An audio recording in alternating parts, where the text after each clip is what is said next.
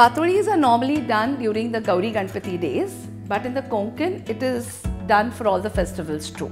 It's really amazingly tasty. And we require turmeric leaves, which are there normally in the season, and they impart a lovely flavor to the dish. So what we have to do is to begin with the stuffing.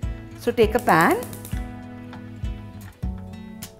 add very little ghee, add the scraped coconut. This is fresh coconut which we are using and slightly roast it over the ghee. You can smell the coconut getting cooked.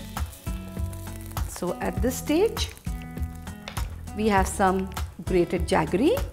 So add that and mix well. This also takes take a minute for the jaggery to just combine with the coconut and get together. Yeah.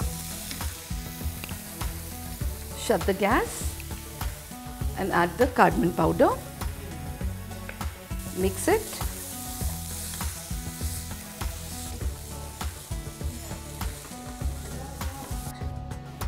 The mixture is done. We've already shut the gas.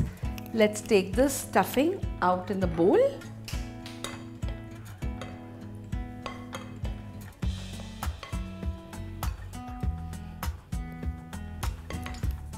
We'll require a steamer for this preparation. We are going to steam the patolis on it and prepare it for the water to start boiling. Till then we have these turmeric leaves as I said. They have to be just cut into the size that you want. They're already washed and wiped. Just press the leaves, the vein that is there behind with a knife so that it's easy to bend when you apply the rice flour to it. So you know you can bend the leaf like that. They are really special otherwise the ingredients is just coconut, jaggery and rice flour. So the leaves are prepared and uh, the stuffing is done. We'll start making the batter of the rice flour. So take a bowl. We have this rice flour. Add water mix.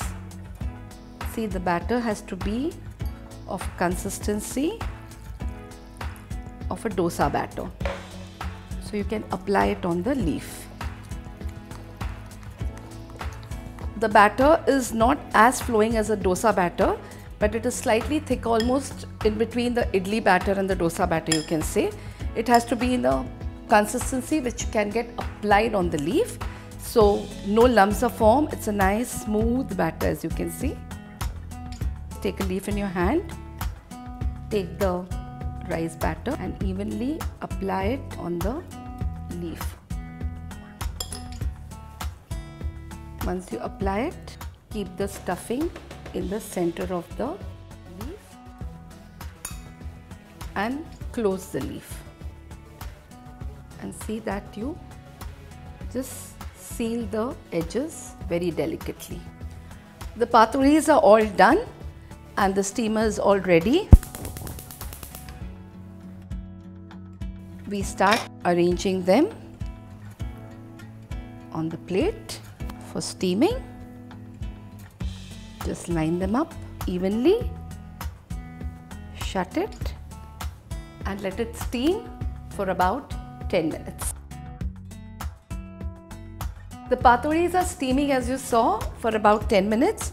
They are done. The indication is that even the colors of the leaves start turning pale. So let's shut the gas.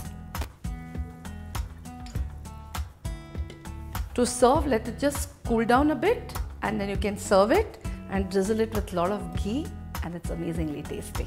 The patolis are done as you can see that its steamed batter has become nice and transparent after it's got steamed and the stuffing is amazingly simple, just jaggery and coconut, but very tasty.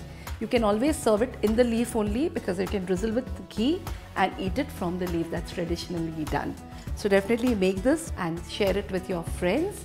Hit the like button and subscribe to our channel.